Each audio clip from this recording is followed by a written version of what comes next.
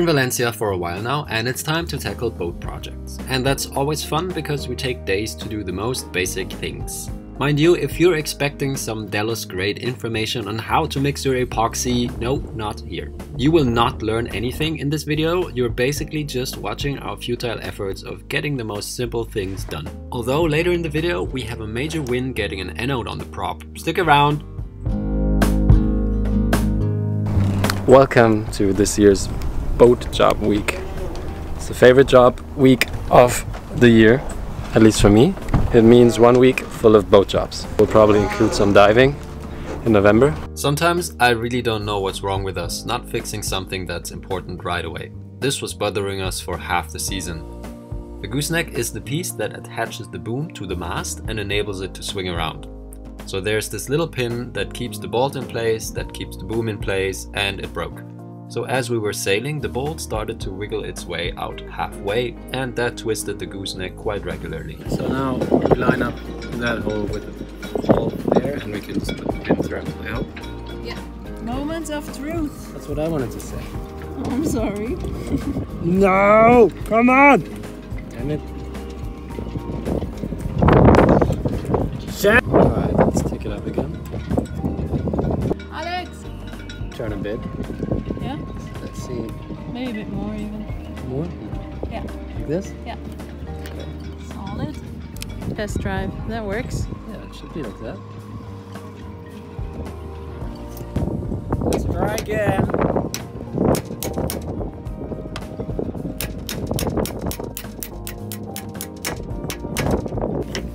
Ready? Yeah. Now this will just slide in. No, it doesn't. Why? It's because we can't see if it's.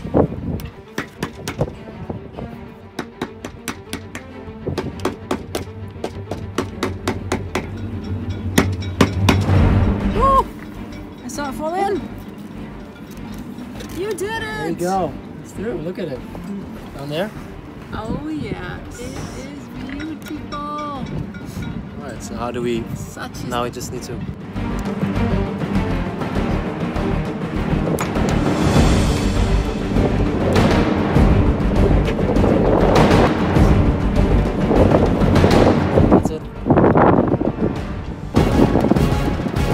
yeah, baby. A season worth of uh, trouble. That's true. How long do we take Well, fixing we- that? Actually, I just found this by accident today because I was looking for something completely different. A whole season. Every should- time I think we should order an a few extra ones if we find them. Another job done! It takes a whole winter. You are on a roll today. Surely you can imagine this day was pretty difficult and debilitating. We didn't want to push our luck starting another boat project. The only thing we could bear doing was another batch of laundry. Oh, also, there was a fire. We didn't really know what happened, but boats burn fast and it's scary.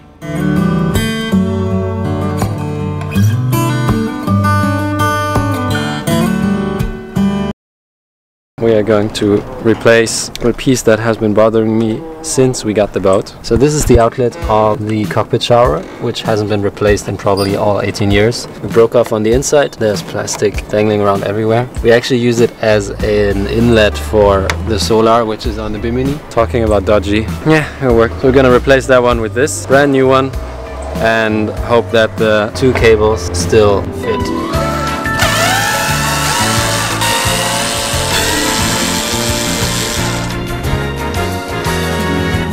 Thank God I found that one, which is the perfect equivalent to the old one. What we always do when we open up something and close it up again on the outside, we put um, silicone on the screws so when you drill them back in, they're watertight. Great camera work, Alex. You're a natural. We had a fight and I didn't want to ask Mandy for camera help, so guess what? Now you're suffering as well.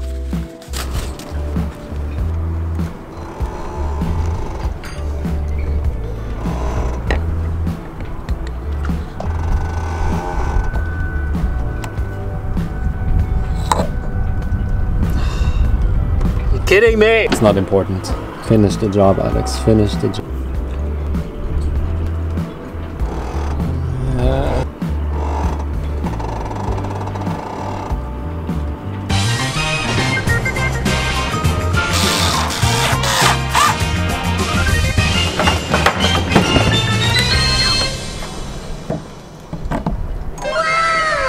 Job done. I also need a haircut. What a successful day. What a success. What are we up to tomorrow then? I'm gonna get into the water and fix the anode. We have one on the prop, on the back of the prop, that's totally eaten and we don't know how well the other boats are protected because if they don't have anodes, we're gonna be suffering even more. So I got a donut anode on recommendation of Dean. Thank you so much. It's a thin one, round, and it goes behind your prop, just where I'll show you in a GoPro clip right now. And it's a bit thinner than uh, the ones that I've seen, but that's perfect because we don't have that much space. What I have to do though is get into the water in November. Sacrificial anode Y. Alright, here we go. When metal surface comes in contact with electrolytes, they undergo a chemical reaction. What are the purposes of using sacrificial anodes? They are used to protect metal structures from corroding. They work by oxidizing more quickly than the metal it is protecting, being consumed completely before the other metal reacts with the electrolytes.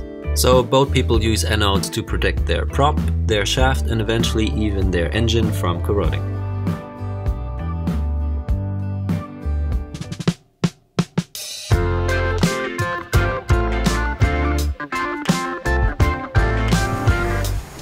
Are you ready? Today's the day. The last dive of the season. Expect beautiful underwater footage of this very special place in Spain, Valencia Marina. Most likely you will see me fiddling around with these zinc anodes that goes around the shaft behind the prop and then just closes up here. So that would should hold for the next season and especially for the winter months, especially if we're in the marina and there are boats next to us. It is almost the end of November. We could have done it before, but we didn't think about it, so now I have to go into the water. It's very cold today. The problem doing this underwater is probably that I will float to the surface again, so I have to hold myself somehow, then get this around, and then don't drop these screws. So my idea is that I'm going to put these into place and use some silicone to hold them there. Let's see if that's a good idea. So I'm just putting these here.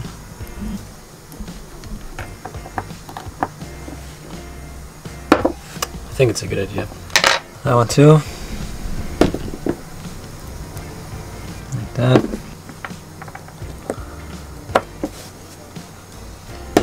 Let it dry good for about 10 minutes.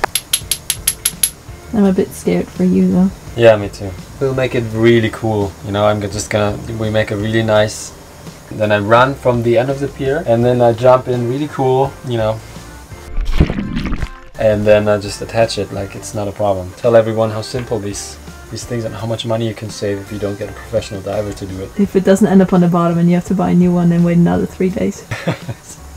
I lose it to dive seven meters. While Alex is waiting for the silicone to dry, I am preparing a couple of things because I don't want to repeat what happened in April. So he had to go in the water because of a line in the prop and then he got into a cold shock, which was not really fun.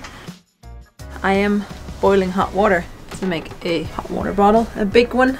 I am preparing the shower, make sure the water is hot. I am actually going to put the heater in the shower, so it's going to be really warm in there. And I prepare blankets and everything and then hope he'll be okay and we can dry him off and get him hot right when he comes out of the water. So what do you got over there? A uh, air pressure pump from a friend of ours with a hose and a mouthpiece. So I can actually breathe up to three meters deep. The prop is only just below the surface. Let's see if I freeze to death.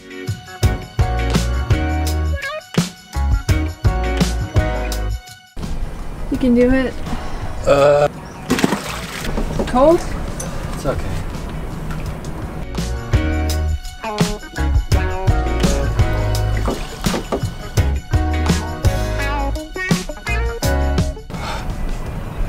It's alright. I can see it. It's good. reminds me of when we went when I dove the anchor. Yeah. All right, we just anchored in um, seven meters of water, and I'm gonna check if the anchor sits well. How cold is that? Oh, Jesus! no, it's good. The anchor sits very well. There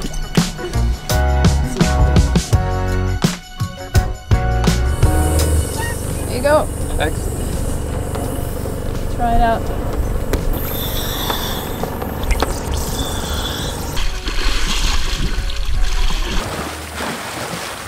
Stay warm. Ah. Ah. Alright, let's do this. Gotta try to get to the to the prop first without the pieces.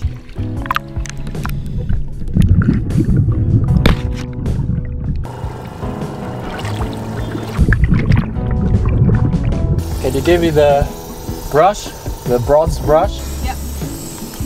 There you go.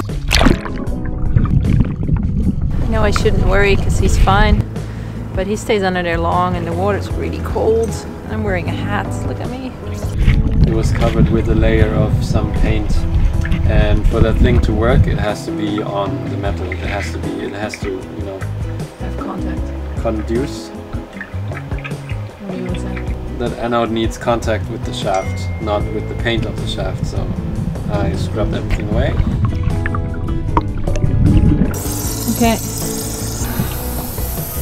You're shivering like crazy. You right?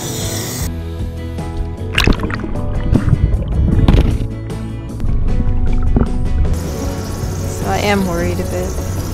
Need the screw. You need the screw it fits? Yeah. Alright, here it comes.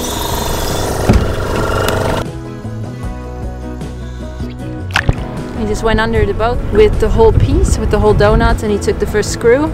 We put a little bit of silicone on one of the halves, so we can maybe like Pinch it together, see if that holds, so I can have two hands again for the first screw. But that didn't work because underwater it does not stick.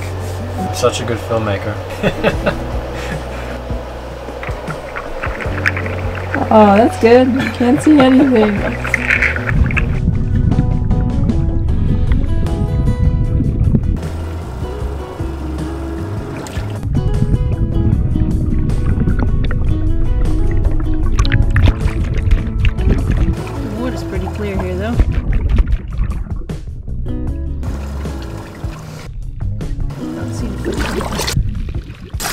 Done. That's it. You made it. On a scale of 1 to 10, how cold are you? You're probably 10 degrees. Come, let's get you out. Don't, don't burn yourself, it's hot. Nice and warm? Yeah. Good. Here's some tea with Greek rum. Well, thank you. Such a good filmmaker. I had to turn it down more. I didn't do it. Why didn't I do it? I have to do it again. Proud of you. Have to do it again. Gonna have to do it again. Easy. Easy. This was actually a 15 minute job. E Yeah, it was a 15 minute job. Yeah. Because after 15 minutes, you can't use the, uh, Air the air compressor anymore. You have to give it some time. And we made it in 15. Easy!